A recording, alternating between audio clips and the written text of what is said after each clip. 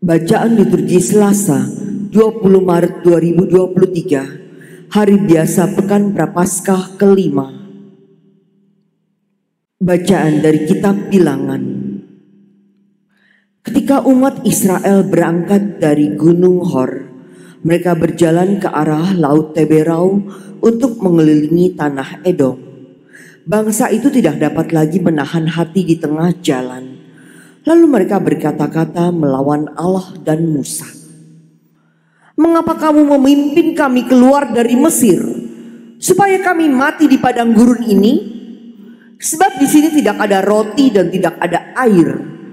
Kami telah muak akan makanan hambar ini. Lalu Tuhan menyuruh ular-ular tedung ke antara bangsa itu yang memagut mereka sehingga banyak dari orang Israel yang mati. Kemudian datanglah bangsa itu mendapatkan Musa dan berkata, "Kami telah berdosa sebab kami berkata-kata melawan Tuhan dan Engkau. Berdoalah kepada Tuhan supaya dijauhkan ular-ular ini dari kami." Lalu Musa berdoa untuk bangsa itu maka berfirmanlah Tuhan kepada Musa, "Buatlah ular tedung dan taruhlah itu pada sebuah tiang. Maka setiap orang yang terpagut, jika ia melihatnya, akan tetap hidup."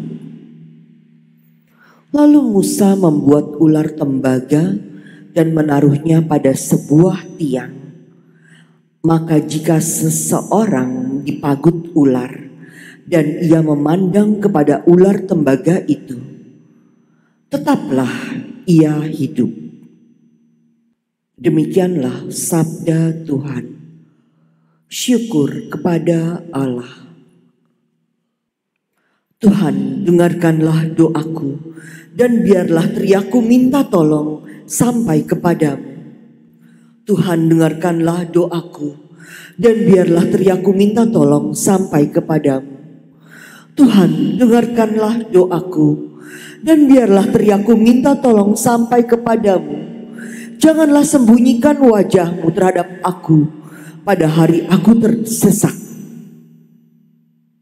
Sendengkanlah telingamu kepadaku pada hari aku berseru, segeralah menjawab aku. Tuhan dengarkanlah doaku dan biarlah teriaku minta tolong sampai kepadamu. Maka bangsa-bangsa menjadi takut akan nama Tuhan dan semua raja bumi akan kemuliaanmu. Bila Tuhan sudah membangun Sion dan menampakkan diri dalam kemuliaanmu, bila engkau mendengarkan doa orang-orang papa dan tidak memandang hina doa mereka Tuhan dengarkanlah doaku dan biarlah teriaku minta tolong sampai kepadamu. Biarlah hal ini dituliskan bagi angkatan yang kemudian dan bangsa yang diciptakan nanti akan memuji-muji Tuhan. Sebab ia telah memandang dari tempatnya yang kudus. Tuhan memandang dari surga ke bumi. Tuhan dengarkanlah doaku dan biarlah teriaku minta tolong sampai kepadamu. Terpujilah Kristus Tuhan, Raja mulia dan kekal. Benih itu adalah sabda Tuhan, penaburnya adalah Kristus. Setiap orang yang menemukan Dia akan hidup selama-lamanya. Terpujilah Kristus Tuhan, Raja mulia dan kekal.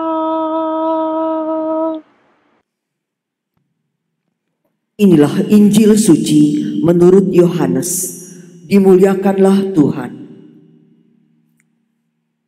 Sekali peristiwa Yesus berkata kepada orang banyak, Aku akan pergi. dan kamu akan mencari aku. Tetapi kamu akan mati dalam dosamu. Ke tempat aku pergi, tidak mungkin kamu datang. Maka kata orang-orang Yahudi itu, apakah ia mau bunuh diri? Dan karena itu dikatakannya ke tempat aku pergi tidak mungkin kamu datang.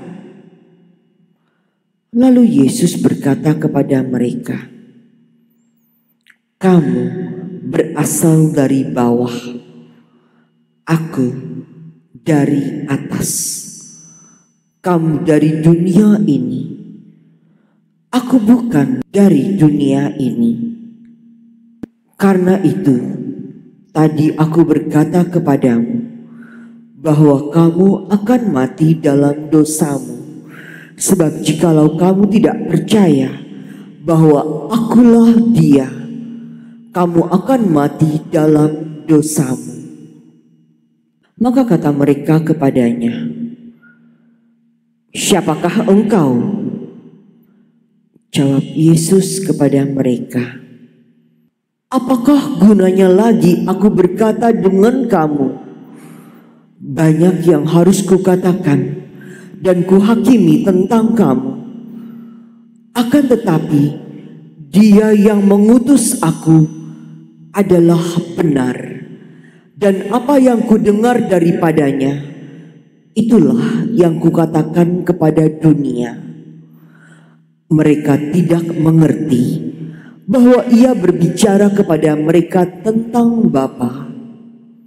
Maka kata Yesus, Apabila kamu telah meninggikan anak manusia, barulah kamu tahu bahwa akulah dia dan bahwa aku tidak berbuat apa-apa dari diriku sendiri tetapi aku berbicara tentang hal-hal sebagaimana diajarkan Bapa kepadaku dan ia yang telah mengutus aku menyertai aku.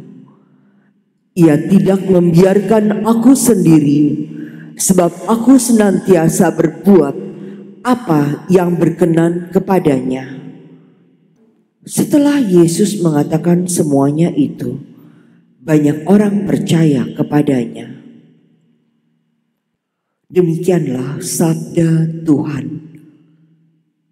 Terpujilah Kristus.